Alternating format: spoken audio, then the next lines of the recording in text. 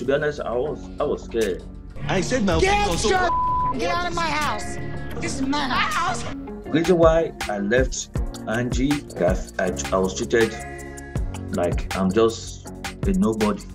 That's just how I'll put it. You know, it was house is because I mean it's very very sad. You know, I feel like I'm I'm an unwanted guest. Like I I wasn't treated like I'm a husband.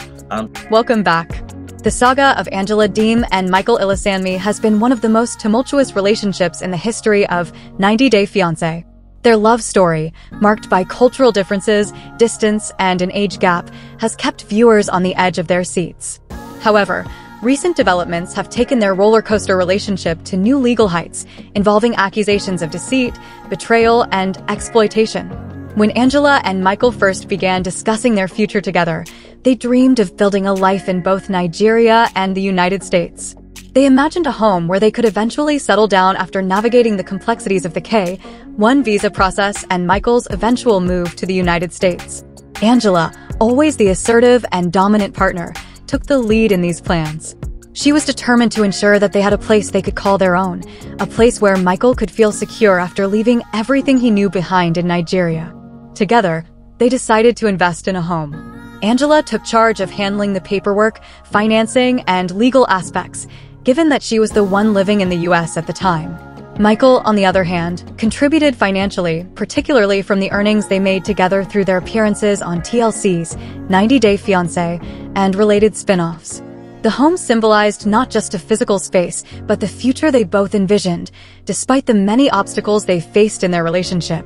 for me to leave, for me to have left rather, I mean it, it was uh, it had gotten to to my to to the point I couldn't just bear it anymore. However, as time passed and the pressures of their relationship began to mount, cracks started to appear in their seemingly solid plans. Angela's fiery temper and domineering personality often clashed with Michael's more reserved and traditional demeanor. The distance, cultural differences, and Angela's suspicions of infidelity only added fuel to the fire. The couple's frequent arguments, many of which played out on national television, began to take a toll on their marriage. Unbeknownst to Michael, while he was in Nigeria, Angela was making decisions that would drastically alter the course of their relationship and his future. When the time came to finalize the purchase of their home, Angela made a fateful decision. She excluded Michael's name from the property documents. In her mind, this was a way to protect herself from potential betrayal, given the many doubts she harbored about Michael's loyalty. As the months went by, the couple's relationship continued to deteriorate. Angela's accusations and controlling behavior became more intense, often leading to heated arguments that left both parties emotionally drained. The once strong bond they shared seemed to be unraveling, and with each passing day, the trust they had in each other eroded further. The situation reached its breaking point when Angela, in the midst of another explosive argument, demanded that Michael leave the house. She coldly informed him that he had no right to the property, as his name was not on the deed. Michael was stunned. The home he had invested in, both emotionally and financially, was being ripped away from him. He felt betrayed, not just as a husband, but as a partner who had believed in their shared future. This revelation was a devastating blow to Michael. He had always trusted Angela to do what was best for both of them, and now it seemed that trust had been severely misplaced. The realization that Angela had intentionally excluded him from something as significant as their home left him feeling vulnerable and powerless. He couldn't believe that the woman he had married, the one he had fought so hard to be with, would betray him in such a calculated manner.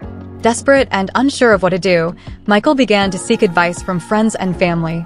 They encouraged him to take action, to fight for what was rightfully his. Michael, though hesitant at first, knew he couldn't let this injustice stand. He decided to seek legal counsel to understand his rights and to see if there was any way to reclaim what he had lost. Michael's decision to pursue legal action was not made lightly. He understood the complexities of international marriage and the legal hurdles that came with it. However, he was determined to stand up for himself, not just for the sake of the house, but for his dignity and self-worth. He believed that he deserved to be treated fairly, and he was willing to fight for that belief. The legal process was long and arduous. Michael had to navigate the intricacies of property law, both in the United States and Nigeria, while also dealing with the emotional strain of his crumbling marriage. The case quickly garnered attention in the media, with many 90 Day Fiancé fans and commentators speculating about the outcome. Angela, ever the media-savvy personality, tried to downplay the situation, portraying herself as the victim of a man who was only after her money. However, as the case progressed, the truth began to emerge. The court discovered that Michael had been systematically excluded from decisions regarding the property, despite his financial contributions. It was revealed that a significant portion of the money used to purchase the house had come from their joint earnings on TLC, money that Michael had every right to claim a share of. The court also found that Angela had intentionally withheld information from Michael, misleading him about the ownership of the property. After months of legal wrangling, the court finally reached a verdict. Michael was awarded full ownership of the home as compensation for the deceit and exploitation he had suffered. The judge recognized that Michael had been taken advantage of and that Angela's actions were not only unethical, but also illegal. The ruling was a significant victory for Michael, who had fought against the odds to reclaim what was rightfully his. For Angela, the verdict was a devastating blow. Her carefully constructed narrative of being the wrong party was shattered, and her reputation took a severe hit. Many fans who had previously supported her began to question her motives and her treatment of Michael. The media, which had once portrayed her as a strong, independent woman, now focused on her manipulative and deceitful actions. Michael's victory was not just about the house, it was about reclaiming his autonomy and self-respect. He had stood up to Angela, a woman who had tried to control every aspect of his life, and he had won. The victory gave him the strength and confidence to move forward, both in his personal life and in his quest to build a better future for himself. In the aftermath of the court case, Michael began to rebuild his life.